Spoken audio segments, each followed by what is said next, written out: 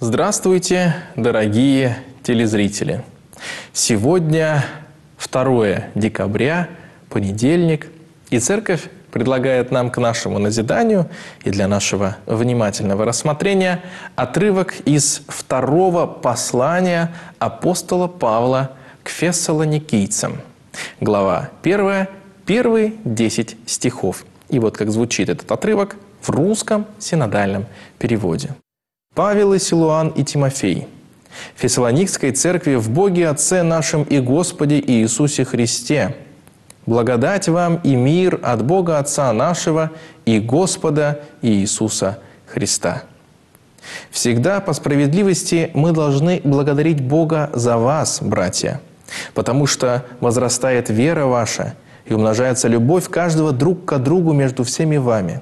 Так что мы сами хвалимся вами в церквах Божиих, терпением вашим и верую во всех гонениях и скорбях, переносимых вами в доказательство того, что будет праведный суд Божий, чтобы вам удостоиться Царствия Божия, для которого и страдаете.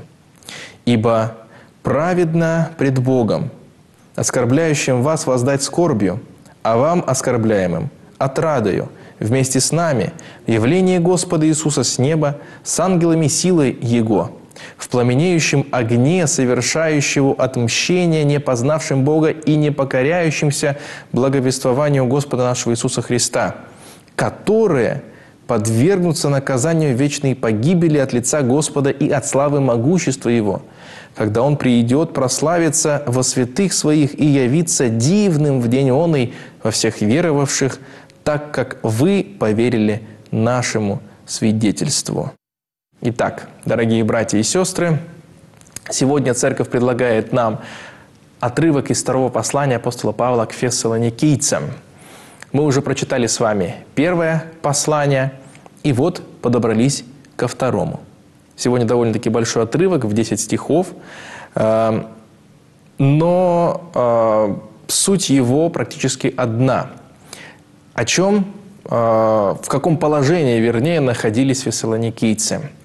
Мы знаем, что Салоники, мы знаем, что в Фессалоникийцы апостол Павел отправился после Филипп, город э, Филиппы, где он подвергся гонениям и вынужден был перейти в Фессалоники, где тоже со временем подвергся гонениям, но проповедь его там была более удачна, чем в Филиппах. И фессалоникийцы очевидно, очень строго подходили к себе, разбирали э, свой опыт э, в жизни во Христе э, и, конечно же, довольно-таки строго подходили к анализу самих себя. И э, апостол Павел здесь, как мы видим, ободряет их – в приветственном слове э, не только апостол Павел, но здесь мы видим, что, опять же таки, э, как и первое послание, так и второе послание пишут э, коллектив авторов. Это и Павел, и Силуан, и Тимофей. Итак, они вместе ободряют фессалоникийцев. Это очень важное качество пастырей, не только критиковать, потому что праведный гнев всегда есть, и ему всегда можно дать волю. Но приведет ли это к а, действительно воодушевлению человека, особенно человека совестливого, ответственного, который понимает, что он э, находится в трудном положении, и ему нужна поддержка. Ему нужна не критика, а именно э, разумная похвала, которая и представлено в данном отрывке. Всегда по справедливости мы должны благодарить Бога за вас. Итак, фессалоникийцы находятся в трудном положении. Апостол Павел писал об этом, что и э, другим церквям он приводит опыт фессалоникийцев в назидание и как пример, как эталон борьбы с искушениями, как внешними, так и внутренними.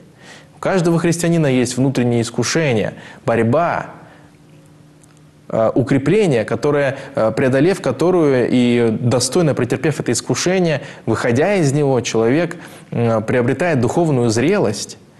Как есть внутренние искушения, искушения веры, так есть и внешние искушения от внешних людей, нападки, насмешки, угрозы и так далее. И вот фессалоникийцы находились вот между этих двух огней, искушений внешних и внутренних, и искушений довольно-таки серьезных. И вот апостол Павел ободряет их. Он говорит, мы должны благодарить Бога за вас, братья, потому что возрастает вера ваша. Действительно, в трудную минуту внутренних борений и сомнений апостол Павел говорит о том, что вы растете.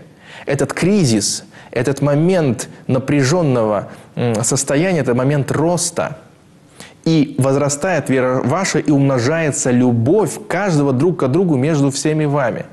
Действительно, в трудных испытаниях, когда человек, э, в полноценная личность, когда он борется со своими комплексами, со своими страхами, искушениями, действительно у него хватает э, сил, возможностей проявлять любовь к другому. Когда человек страдает и правильно воспринимает свои скорби, он понимает скорбь и другого человека и учится ему сострадать. И это у него получается, как пишет апостол Павел, и умножается любовь каждого друг к другу между всеми вами. Так что мы сами хвалимся вами в церквях Божиих, терпением вашим и верою во всех гонениях и скорбях, переносимых вами. Итак, он говорит о том, что они являются образцом, они являются неким эталоном, и это придаст силу человеку, быть может, уже несколько уставшему и на длинной марафонской дистанции задумывающемуся, а вообще зачем я это делаю? И апостол Павел их приободряет. Он дает им глоток свежего воздуха, новых сил для того, чтобы претерпевать все то, что они претерпевают. И это ровно столько, сколько нужно было им. В доказательство того, что будет праведный суд Божий – чтобы удостоиться вам Царствия Божия, для которого вы страдаете. И так апостол Павел плавно переходит от похвалы э, к тому результату, к чему они стремятся. Часто у апостола Павла возникает э, и в послании к Коринфянам образ э, спортсмена, который бежит, чтобы получить венец тленный, а мы же, христиане, бежим и преодолеваем этот марафон нашей жизни – чтобы получить венец нетленный. И об этом пишет апостол Павел, ободряя а, фессалоникийцев, «Ибо праведно перед Богом, оскорбляющим вас, воздать скорбью, а вам, оскорбляемым, отрадуя вместе с нами». Явление Господа Иисуса с неба с ангелами силы Его. Далее в 10 стихе сказано, что фессалоникийцы и все верные христиане являются славой Господа – Действительно, сам Господь своей благодатью и свои, делом своего спасения э, рода человеческого даровал нам эту славу Божию, даровал нам эту возможность быть, э, предстоять пред лицем Божиим, э, быть соучастником внутритроического общения, быть соучастником э, жизни Святой Троицы через таинство, через э, молитву, через церковную жизнь. В то же время здесь на земле Христос, э, слава Христа зависит от нас – Именно мы, э, преисполняясь благодатью Божией и э, совершенствуясь в деле нашего спасения, в духовной жизни, мы обретаем славу Божию, и в этом смысле мы сами являемся той славой, которую имеет на земле Христос. Это мы продолжение дела Христова, мы э, члены тела Его, и в нас необходимым образом прославляется Господь. Мы являемся Его славой. От этого э, мы должны э, тщательнее и бережнее относиться к своей духовной жизни. Мы не принадлежим себе, но Господу, но и Господь отдал себя нам в добровольном служении в смерти на кресте, за которым все же последовало и светлое Христово воскресение.